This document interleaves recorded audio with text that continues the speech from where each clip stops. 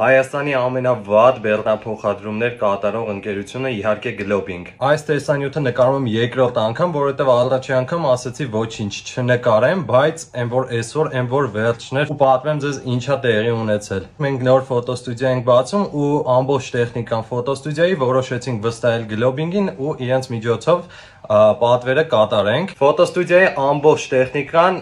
Globing-ի ռուսաստանյան պահեստում ա եղել փետրվարի 10-ին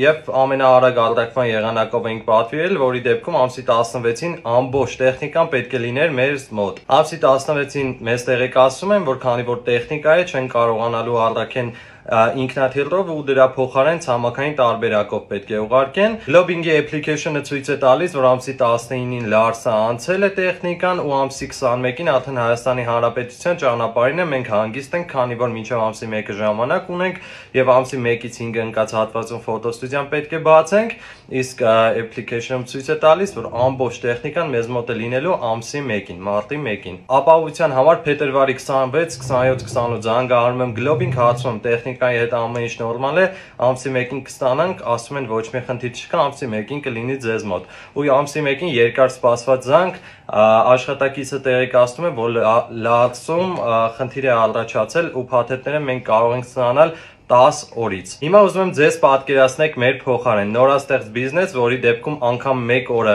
չաշխատելու արդեն խնդիր է, ամսի 1-ից 5 ընկած հատվածում ֆոտոստուդիան պետք է բացենք, հյուրերի ցանկ, տոնական նշել ու այդ ամեն ինչը ջուրն է ընկնում Globing-ի անպատասխանատու պահվածքի պատճառով ու ես ամենաշոկային զանգն եմ ստանում քիչ առաջ այլ ակաունտով պատվիրել էինք նորից տեխնիկա, նորից Ռուսաստանից ինքնաթիռի միջոցով պետք է հասներ մեզ։ Մի կտորը քիչ առաջ հասնում է, իսկ մյուս կտորի համար զանգում են ու ասում են, որ 15 օրից կհասնի, քանի որ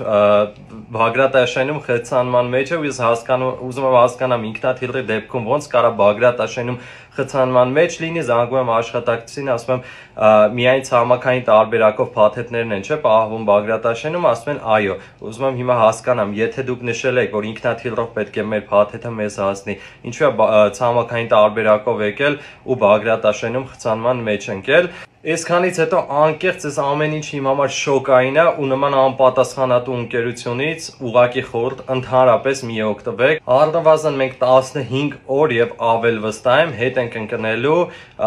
ու մեր նոր բիզնեսը չի գործելու նման